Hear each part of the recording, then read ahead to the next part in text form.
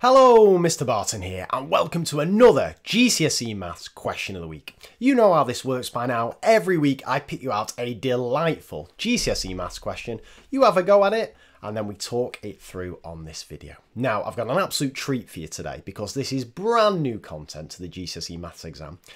It looks a little bit like something you might have seen before, but it's got a devilish little twist to it, and it is functions. So you'll have seen this f of x, but normally you'll see that in the context of graphs, transforming functions, minus f of x, f to the minus x, and so on.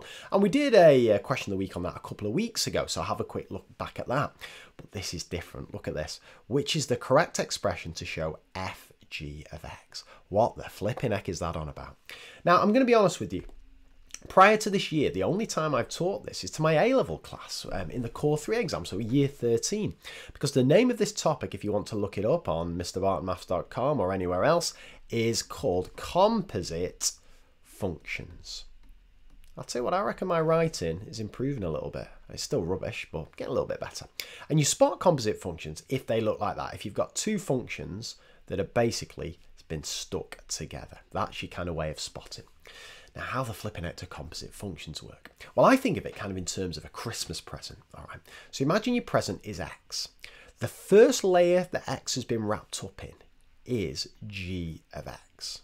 So you get X and you wrap it up in G of X. And G of X is going to be a bit of X squared plus 5. So we're going to get something out of that.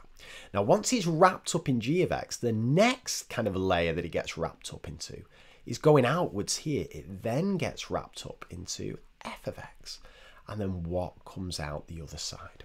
So the only thing you've well, there's a few things you've got to be careful of, but the main thing is you're going outwards. Okay, it starts with x, it gets wrapped up in g of x first and becomes something new, and that that then gets wrapped up in f of x and becomes something new again. Okay, so I'll show you how this actually works with the maths behind it. It's not actually too bad.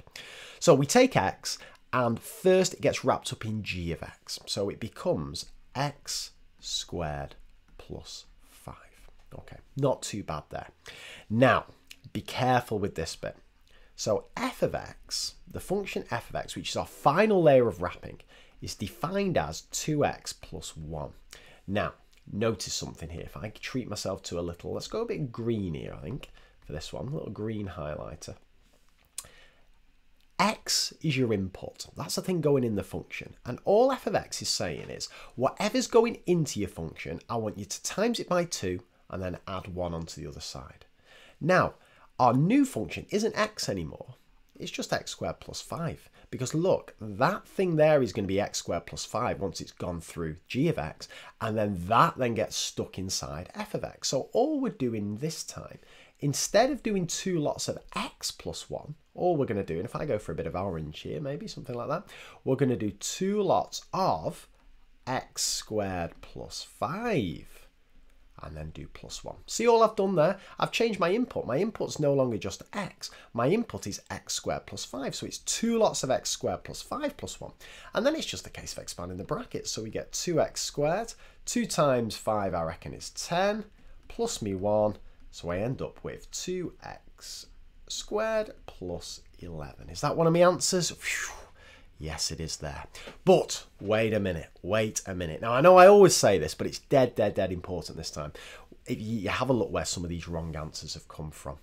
Now, your first one is a deadly one 2x squared plus 6. Can you see where you might have got that from? Well, what about if you were here?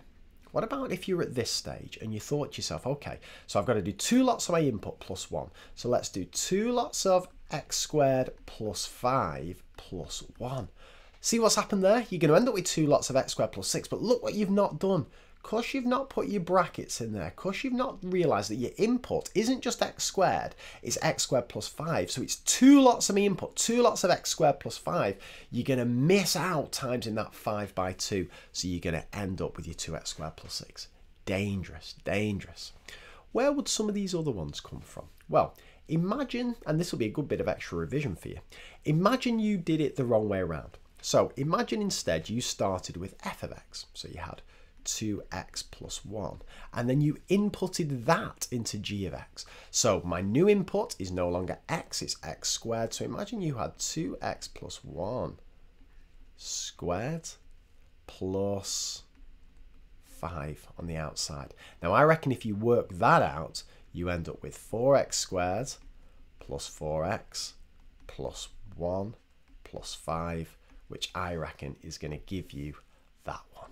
So I reckon C is actually GF of x. Beautiful bit of maths to get that bit right, but the function's been done the wrong way around. And finally, what about this one? 2x cubed plus 5. Well, I reckon this comes from some kind of dodgy combination of these two things. Saying, okay, fg, maybe that means we take f and times it by g. So maybe 2x times x squared is 2x cubed, and 1 times 5 is 5. So some dodgy multiplication and manipulation of algebra. So you've got to be careful with these functions. And just before you go, what other wrong answer would you include? Well, I reckon you can do a similar kind of mess up here. I reckon that if people think f g of x just means times them together, you'll get students doing this. 2x plus 1 times x squared plus 5, multiplying out those brackets, maybe even doing it correctly, ending up with a cubic, but it's not going to be quite the right answer. So, what's my golden rules for composite functions? I personally think of it as being wrapped up in presents. So, x is your present, it gets wrapped up in g of x first. So, sort out g of x, that gives you x squared plus 5, and then substitute x squared plus 5 into your f of x to get your final answer. So, it kind of works the opposite way around as that you'd think, but it's important you have that depth of understanding of why that occurs. And then it's just manipulation of algebra and substitution. A lot of this new GCSE is that it's topics that sound new but are actually just combinations combinations of old topics. So if you need further practice on this, look up composite functions on mrbartonmaths.com or any other of the uh, really good websites that are out there and try the rest of this quiz out um, on diagnostic questions. It's a flipping classic. And I'll see you next week. Take care. Bye for now.